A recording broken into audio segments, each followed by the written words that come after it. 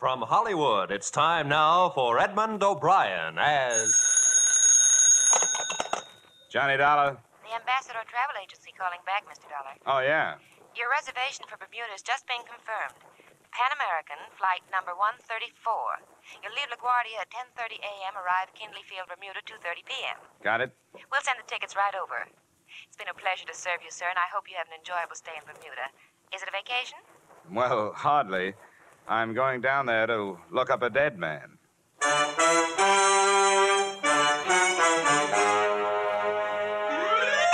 Edmond O'Brien in another transcribed adventure of the man with the action packed expense account. America's fabulous freelance insurance investigator. Yours truly, Johnny Dollar.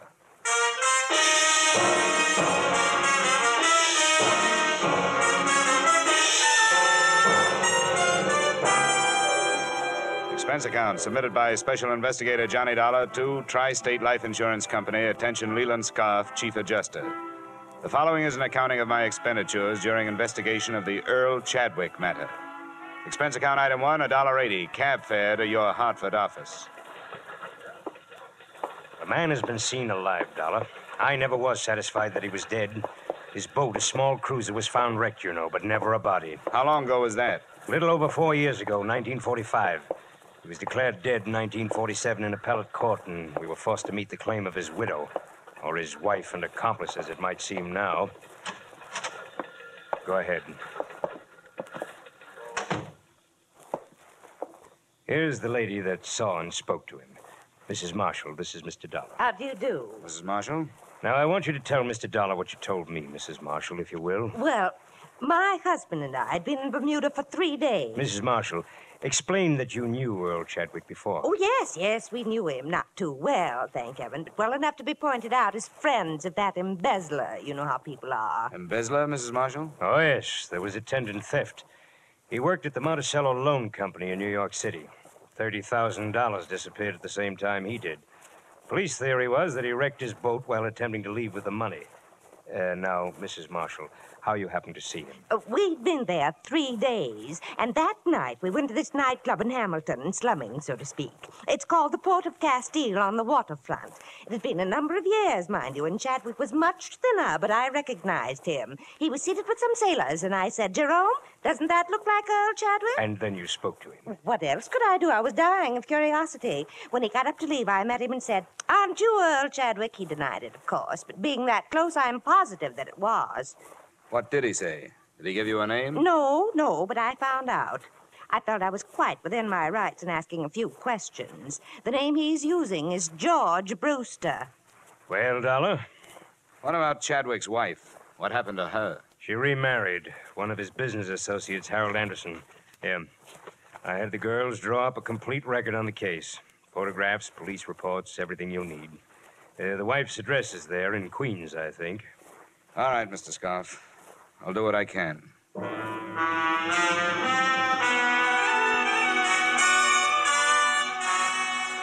Expense account item two $250 plane ticket and miscellaneous expenses between Hartford and Bermuda. I drew an aisle seat and one of the worst hazards of air travel or any other kind of travel. I'll tell you something. Pays to study these places before you go to them. I've been out there before. Nothing teaches like experience. But before my first trip, I knew more about Bermuda than lots of the folks that live there, see? Well, that's very interesting. Yeah, yes, sir. Quite a history. Spoiled now, though. People aren't worth anything anymore. You know what spoiled them? Tourists. Hmm? Yeah, took away all their ambition. Turned them into a bunch of lazy beggars and horse traders. Don't farm anymore. Don't do anything but work the tourists. Now, uh, I don't want to be a wet blanket, you understand? Oh, yeah, yeah. But uh, keep an eye on your wallet. They'll strip you if you give them a chance. Uh, my business is farm tools. What's yours?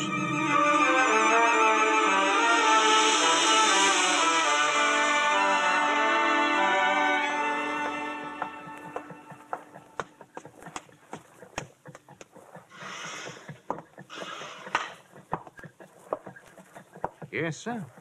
My name is Dollar. Here's my credentials. I'd like to see the chief constable. Yes, sir. Yes?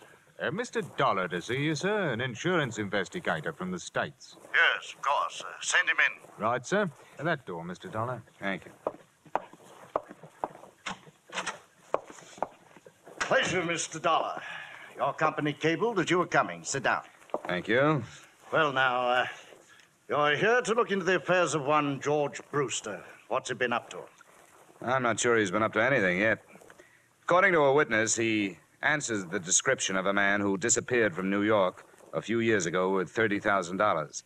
He was declared dead, and the company that hired me paid off an $80,000 insurance claim to his wife. I see. Quite a valuable chap. Yeah, if he is the chap. What about this Brewster? Do you people know him? We acquainted ourselves with him after the cable arrived. Nothing against him. Lives a rather rum life. Doesn't seem to have much. Are his papers in order? Passport? Visas? I uh, trust that he wouldn't be here if they were not. Like any other paradise, Mr. Dollar, Bermuda is forced to accept the existence of a certain percentage of misplaced or lost persons on its outskirts. That's what they are. They? Here's the address. Thank you. At the lower end of King George Road. Do you wish transportation? No, no, don't bother. The walk will do me good.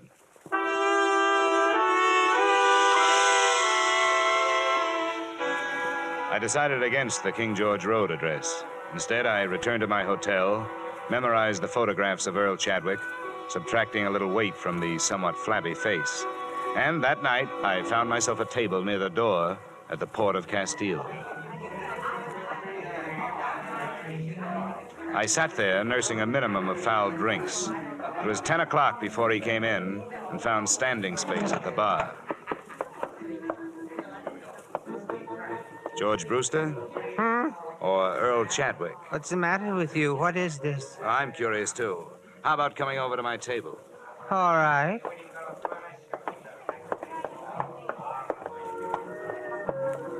You act like a cop. Just 50% cop, no badge. I'm working for Tri State Life Insurance Company. What does that mean? They insured a man and paid off to his wife. Now, now they are unsure he's dead. He belongs to that other name you threw at me. What was it? Chadwick? Earl Chadwick. And I must look like him. Here's a snapshot. Huh. He's fatter, but it's pretty close at that. You know, about a week ago, some crazy old dame I never saw before called me some other name. It might have been Chadwick. I thought she'd drunk over her quota. She was an old friend of Chadwick's. She swears she'd recognize him if, if she saw him. And she swears she saw him. Huh. It's weird, isn't it? I suppose it happens more often than we know about. What do you want? My papers and stuff? They might help. Sure, I'll write down my address. Um, uh, yeah. Uh, come on out anytime tomorrow. Uh, th- there you are. Thank you. I should recover from these drinks by noon. Oh, that'll be all right. it's crazy, isn't it? Things like this could get your goat.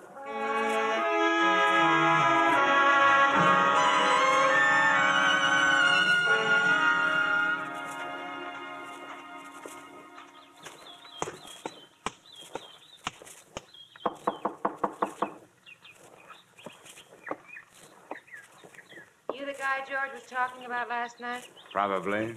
I'm Johnny Dollar. Is George here? No, he had to leave. He said you could come in. He said you could look at this stuff. Here's his passport and cards and things. How long have you known him? Mm, two years last month. Do you know where he came from? Never asked me where I came from. Uh, this guy, he looks like. He had a wife? Yeah. I want to take some of his personal things into town to check his prints against this passport. Shaving brush if he uses one, tubes, jars, anything. You think he's the guy? I'll have to find out. Never mind. You told me you were going. The prince would check against the passport, but it wouldn't make any difference. Now that it's started, why stretch it out? Why not make it easy? George? No, Earl. I'd almost forgotten. Earl. Uh, where can we talk? I've got a hotel room. The statement he made filled in most of the blanks in the case. One, his wife was to have met him in Mexico City, but hadn't. Two, most of the stolen funds had gone to his wife to keep her going until she collected the insurance. So she got married. I didn't know that. She told me to wait, and I did. Grace married. We can leave for the States Grace anytime and you're ready. Harold. Huh? Oh, I can be ready anytime you say. All I have to do is pack a few things and say goodbye to Fran.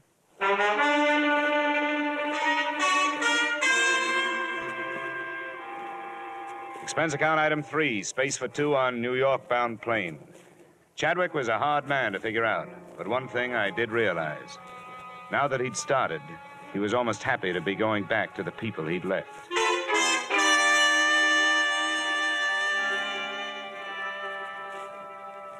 We arrived in the evening, and the next morning, I was told when I telephoned that Mrs. Grace Chadwick Anderson and her husband were at home and would receive me.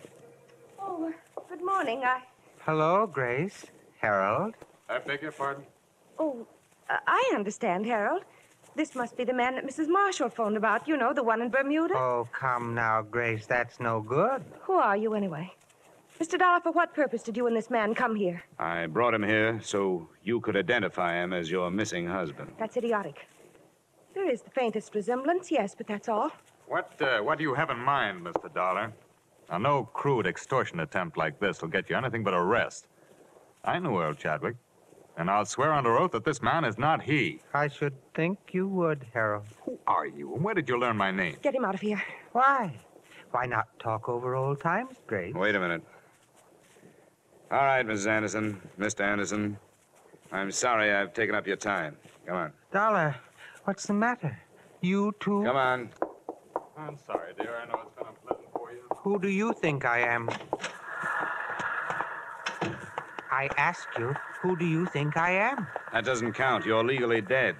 What about your parents? They're dead. But I have friends or people that knew me. They're no good. If your wife won't identify you, they're no good. You worked for a loan company.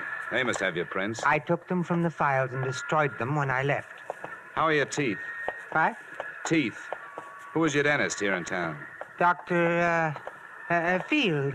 It's been so long. Dr. Homer Field. Uh, uh, uh, Drake Professional Building, Manhattan. He'll still have your x-rays on file. They're as good as fingerprints. Go there this morning. Don't use your name. Give him your other name, George Brewster. Have a new set of x-rays taken. I'll do the rest. All right. Hold it. Now, look, I don't have to hire somebody to follow you, do I? No. Oh, no. Not after I've seen them. You don't have to worry about my going anyplace.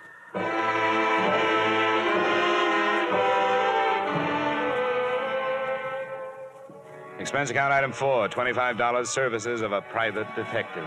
Assignment, tailing Earl Chadwick and or George Brewster. At one o'clock, he had left the dentist's office and gone to his hotel room. At three, he was still there.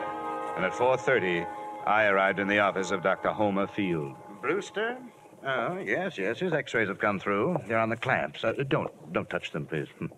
Uh, what is your interest? Police identification. Oh, oh, yes, yes. Well, always happy to cooperate. Thank you. Now, how about digging in your files for the x-rays on a patient named Chadwick? Earl Chadwick. Um, I'd be glad to.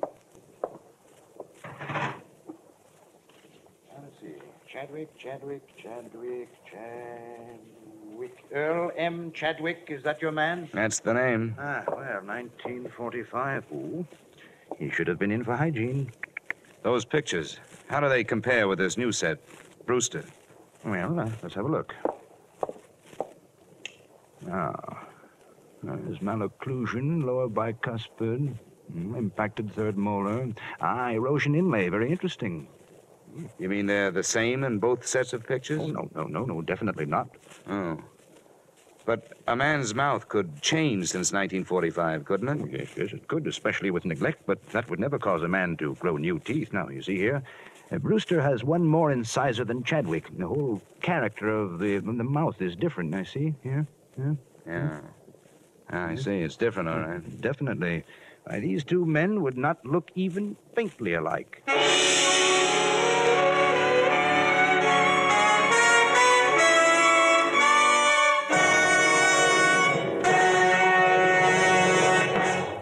In just a moment, we will return to the second act of yours truly, Johnny Dollar. But first, down the old Ox Road, learn to croon straight from the shoulder milestones in popular American music.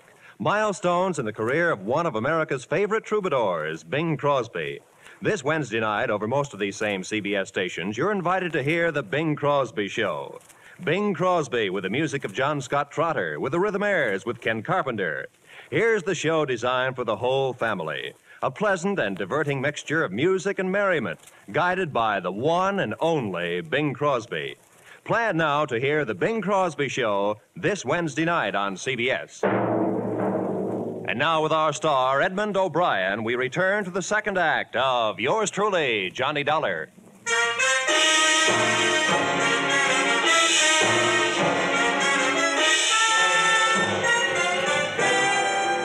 Look, Dr. Field, these x rays labeled Earl Chadwick, could they be misfiled? Could they be under the wrong name? Misfiled? No, definitely not. My assistant has been with me for ten years. Never made a mistake yet. No. Well, then, could anyone else have gotten in here and planted a different set under that name? But why? I would realize the difference the moment I looked into the mouth. That erosion inlay alone. Yeah, I know. Look, your office.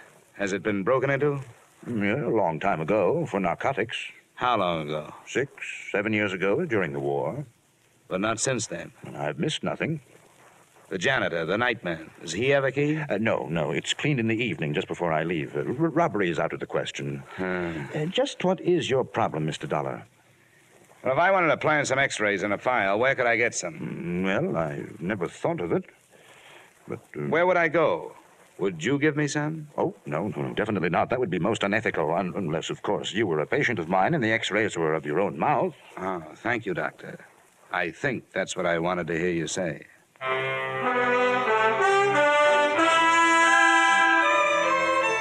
Before dark, I made two more stops, searching for something to help me prove that Earl Chadwick was alive, if he was. The Hall of Records had nothing but a couple of certificates on him. One recorded his birth, the other recorded his death. I checked the wanted file at police headquarters. They had checked him out in 47 when the court had pronounced him dead. On my way out of there, I made two phone calls. The second was to the detective I'd hired. Yeah? Landro, what are you doing in your office? Did you lose him or get tired? He was on to me, Dollar. He got into the crowds at Macy's. I put the houseman at his hotel on it. He's watching his door. I just phoned his room. He's not there. What's he been up to? He left the hotel at 318 and took a cab over to 3rd Avenue. What address? A pawn shop, Johnny. He bought a gun.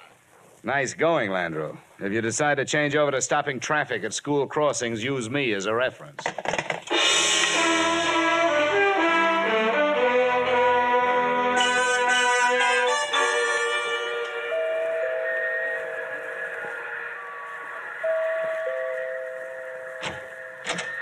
Where's your husband, Miss Anderson? He's here, but he Come does on. I want to talk to you both. You have no right to barging. Where is he? What is it, Grace? Oh, it's you again. That's right. He forced his way into the house. Make him get out, Harold. I will if I have to. Now, look here. I don't know what that impostor has told you, and I don't care. If you choose to believe his lies, that's your business. And a sorry business it is. But I will not allow my wife and my home to be upset by his schemes any longer. Are you through? No, not quite. It's obvious to us, if it's not to you, that this man learned of the unexplained details surrounding Earl's death and is attempting to use this vague resemblance to his advantage. Now, extortionists land in prison, Mr. Dollar. And the only reason I haven't turned to the police before this is that we want to escape the notoriety of having past tragedies lived again. He bought a gun this afternoon. That makes him look like the double crossed husband, doesn't it? The man's a maniac. I'm going to ask for police protection. Where is he? Who? This man. Do you know where he is? When I found out he bought a gun, I was afraid he was coming here to use it. Harold. I can't believe this is happening. Now, Grace, please. Why, why, why would he harm us? He doesn't know us, and we don't know him. He bought the gun to convince you, Dollar. He knows a lot about you, Anderson. He knows you were Chadwick's immediate superior in the loan company before he disappeared. Harold, it, it couldn't be, could it? Grace. It's been a long time. Maybe some disease could change a person that much. But he would have contacted Grace. Earl is dead. How did this man learn so much about us? As far as I can see, he's made only one mistake the size of the theft. He says he stole 10,000. According to the record, 30,000 was missing.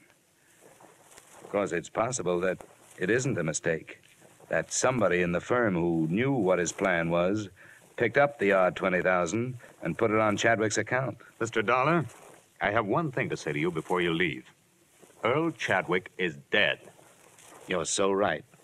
And that's what troubles me. A legally dead man running around loose with a gun makes an interesting situation. Did you ever think of that? Who would the police look for? I'm going to my hotel in case you want to phone in your answer.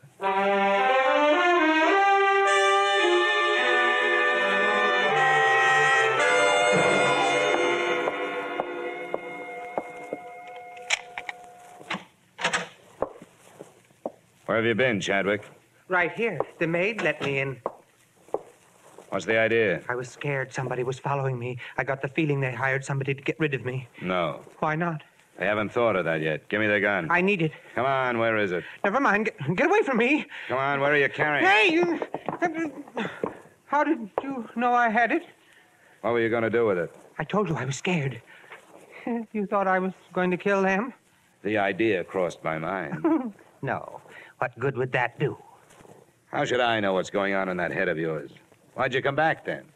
Just to get things straightened out? You wouldn't have had to.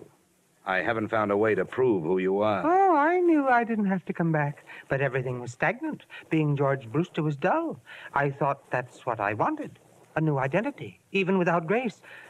But I guess nobody's ever satisfied. And when you have a choice of who you want to be, then it's really hard. Uh, what about the x rays? No good. The set under Chadwick didn't match the one you had taken today. They had to. They made a switch with somebody else's, probably Anderson's. It's an easy office to enter. Probably hired a cat burglar. Nothing at the Hall of Records, nothing at police headquarters. You're dead. What did the police say? I didn't talk to them. Why should I? The case is closed. You're dead. Lazarus, come forth. And he that was dead came forth, bound hand and foot with grave clothes, and his face was bound about with a napkin. Yeah? Landro, Johnny. No, yeah. Sorry I blew up. Forget it. I lost him, didn't I? How is it? Oh, it's a mess. I'm not getting any place. The only proof I can find is proof that he's dead. Maybe he should stay there. Yeah, I'm getting ideas myself. What about his draft board? They take prints. Police checked in 47. They lost. Look, I'm going to have to dummy up something. I don't want you to violate any trade secrets, but do you know a good forger? That depends. It'll be practically legal. All I need is a driver's license. I think that can be managed, Johnny. When? Tonight. It'll cost. Well, I'm working for a wealthy company. Oh, there's more, too, Landro. How about meeting us in your office in 45 minutes? Sure, Johnny. Bring a bottle.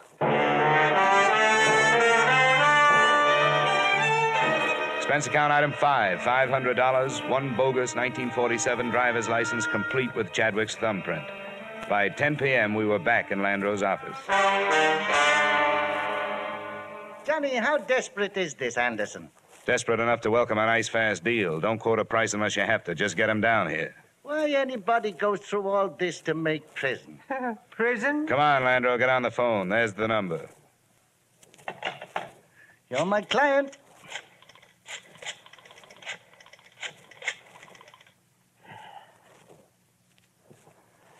Mr. Harold Anderson? I'll be blunt. This is blackmail. I'm calling in the interests of Earl Chadwick. No, he isn't. He's alive. But I do have proof. A driver's license he took out just before he disappeared, as a sort of a double check on the past.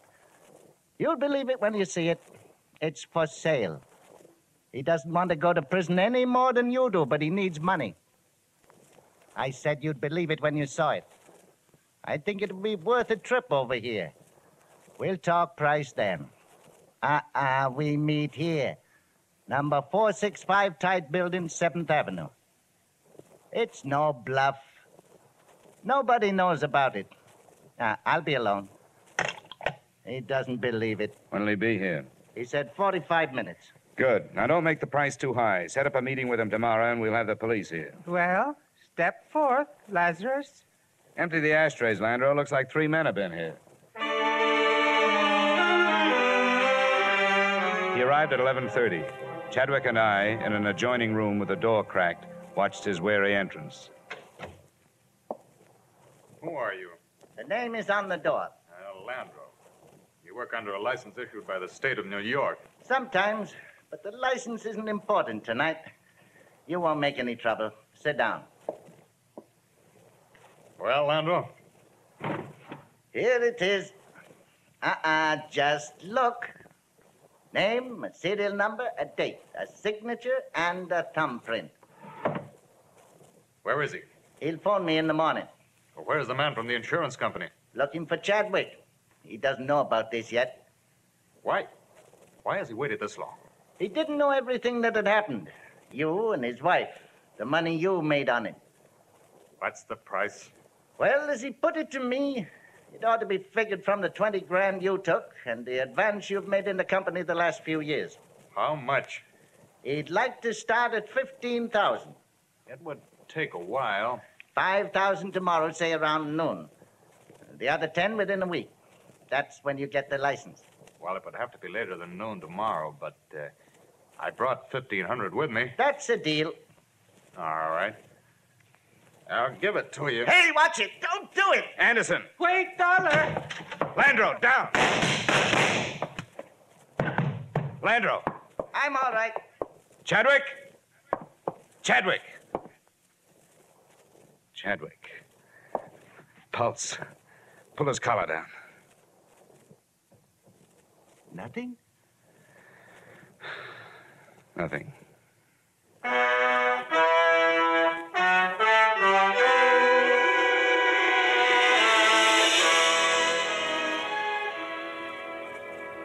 I don't know what your company can do about it now. Both Mr. and Mrs. Anderson gave statements to the police that same night, confessing their contribution to the original crime.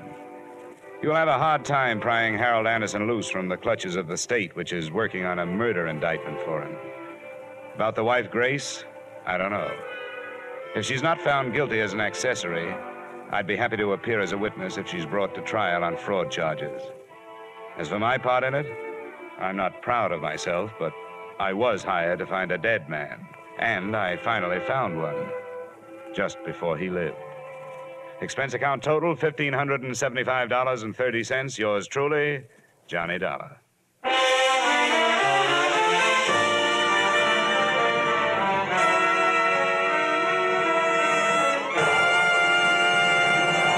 Yours truly, Johnny Dollar, stars Edmond O'Brien in the title role and is written by Gil Doud and David Ellis, with music composed and conducted by Leith Stevens. Edmond O'Brien can soon be seen starring in the Columbia Pictures production, The Los Angeles Story. Featured in tonight's cast were Lillian Buyeff, Walter Burke, Virginia Gregg, John Dehner, Ben Wright, Tudor Owen, and Ted Osborne. Yours truly, Johnny Dollar, is produced and directed by Jaime Del Valle. Join us again next week at this same time when, from Hollywood, Edmond O'Brien returns in another transcribed adventure of Yours truly, Johnny Dollar.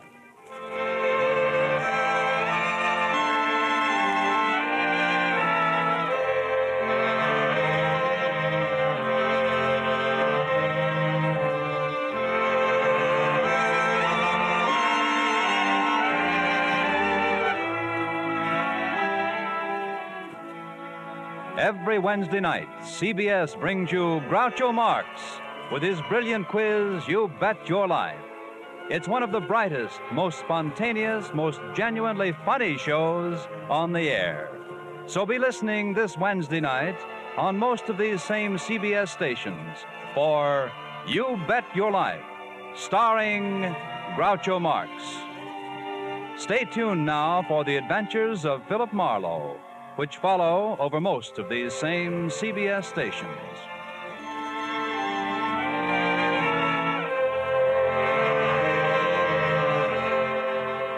This is CBS, the Columbia Broadcasting System.